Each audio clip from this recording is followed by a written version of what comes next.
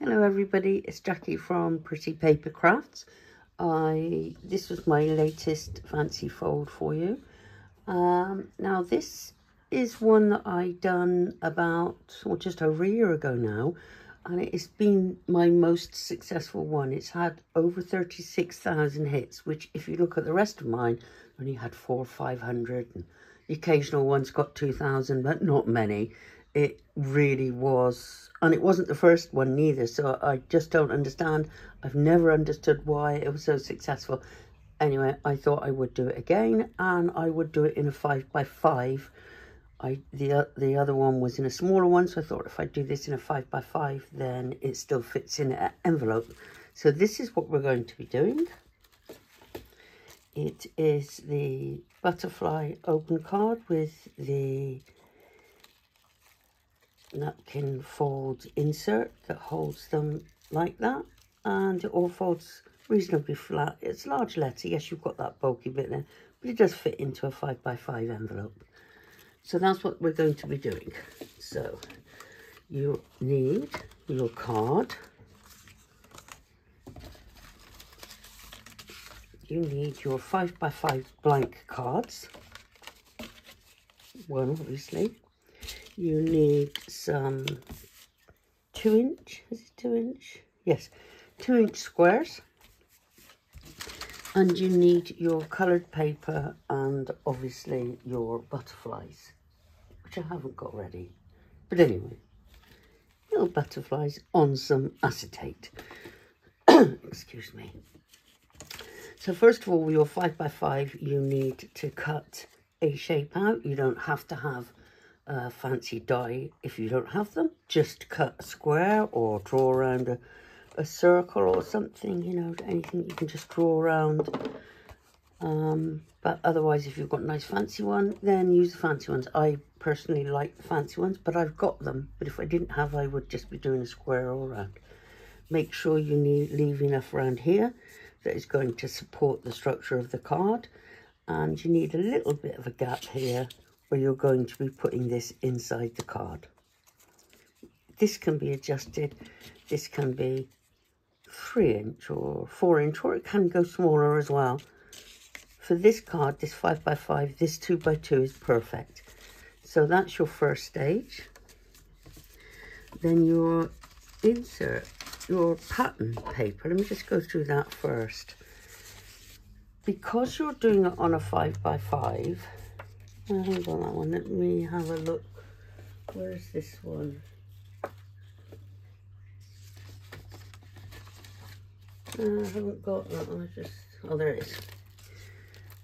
To do this, it's a five by five, and I wanted this one. Now it's very difficult to get this to be exactly the same to sit in exactly the right place. So what I've done is I done cut the shape in a six by six instead of a five by five.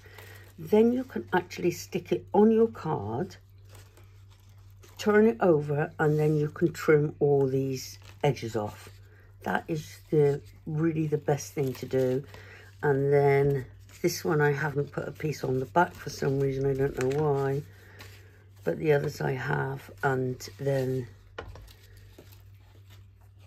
I've used a white piece the same shape that's gone on the back so this one I've missed the back piece so that's what it is so you really this needs to be a six by six this came from this this whole collection came from a six by six paper pad, so that was really good. I just made sure I had two, this pattern and this pattern to be the same, and this pattern and this pattern to be the same. So I just needed two, um, a six, or six inch um, sheets for that, the two for the front, and the other thing is, if you want two, one for the inside and one for the front, take your pieces like this, fold the second one inside like that.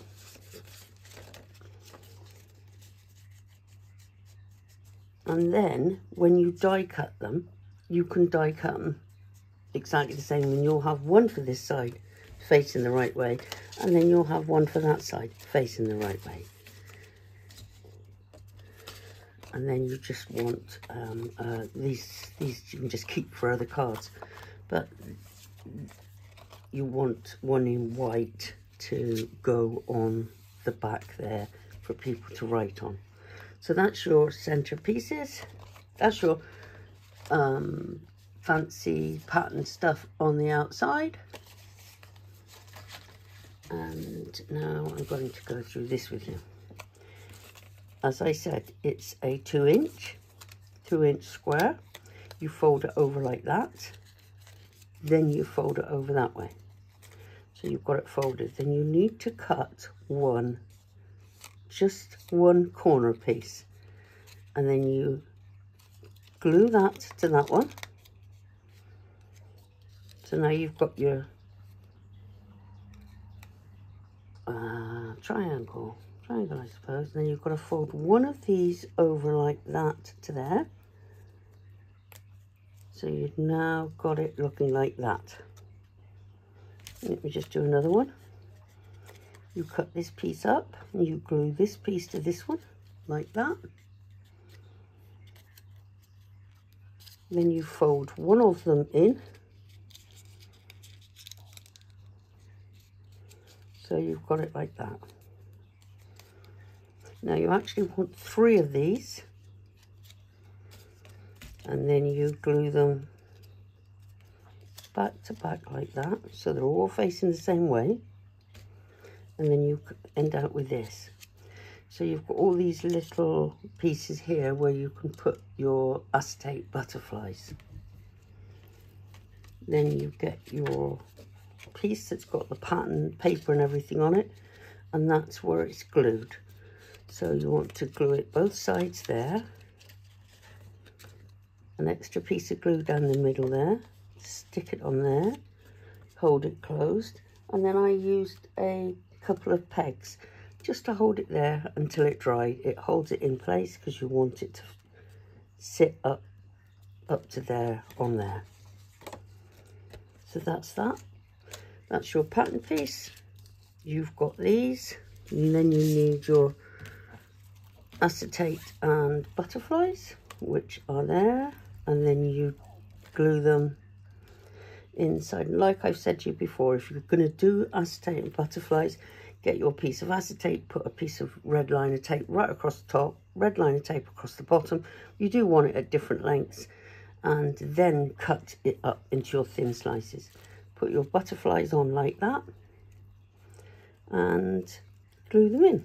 You want some extra ones on the front that are going to show from there. And there's your card. That's how you see it. It's, it's quite simple, really. Maybe that's why it was so popular. But anyway, this is a 5x5 version. With any luck, it'll be as popular as the other one. But it's really, really nice. As I said, they're all from the same collection. So, you, you know, you might think they don't look any different, but the papers are different. That's the second one. And this one, I put a couple of little dragonflies in, occasional ones as well. That's how it sits. It folds reasonably flat, so it goes large letter in this country. A couple of little extra butterflies on there. And the last two, that's a round one. And that is just as effective if you just draw around something. You don't have any fancy dies, you know, that's absolutely no problem making this one. It's just as effective. That's quite nice for a round one. And the final one is this one. So anybody can produce this one with a round. You don't need no dies. You can just do that like that so that's it. So hopefully this is it. We've actually got some building work going on at the moment. So the um, fancy fold videos will be a little bit sporadic. I've already got a video going up for next week. It's not um it isn't a fancy fold but it is a it's not ai neither. So and i've got that one done ready to sort of fill that gap so I'm not sure when the next one will be up, but hopefully it'll be up in two weeks again. So thank you ever so much, everybody. Thanks for your support, and I'll see you again soon. Bye-bye then.